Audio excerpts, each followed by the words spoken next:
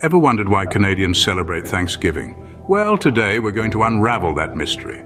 Our story begins centuries ago in the year 1578 with an explorer named Martin Frobisher. He had set sail from England, aiming to find a northern passage to Asia. However, his journey wasn't easy. Faced with treacherous ice and harsh weather, Frobisher and his crew had a challenging voyage. When they finally reached what is now known as Newfoundland, they held a formal ceremony to give thanks for their safe arrival. This event, my friends, is often considered the first Thanksgiving in North America, predating the Pilgrims' Thanksgiving in the United States by more than 40 years. Fast forward to the year 1763. After the Seven Years' War ended, the citizens of Halifax held a special day of Thanksgiving. But it wasn't until the year 1859 that Thanksgiving became a national holiday in Canada. The reason? The recovery of the Prince of Wales from an illness?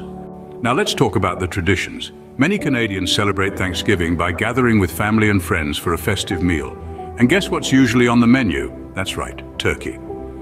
Other traditional foods include stuffing, mashed potatoes and pumpkin pie. Some Canadians also take this opportunity to enjoy the outdoors, admiring the beautiful fall foliage that characterizes this time of year. In the present day, Thanksgiving continues to be a cherished holiday in Canada.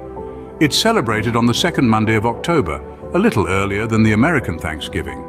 This difference is due to Canada's northern latitude, which causes the harvest season to arrive earlier than in the United States. Looking into the future, it's hard to predict exactly what changes might occur. However, one thing is certain, the spirit of gratitude that defines this holiday will continue to endure. To recap, Canadian Thanksgiving has a rich and fascinating history.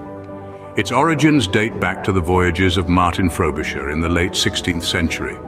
The holiday became nationally recognized in the mid-19th century, and today it's celebrated with a feast of traditional foods and outdoor activities.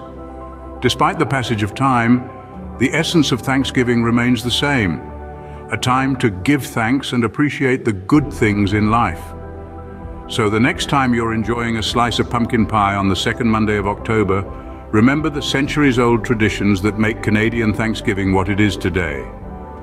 After all, history isn't just about the past, it's also a part of our present and shapes our future.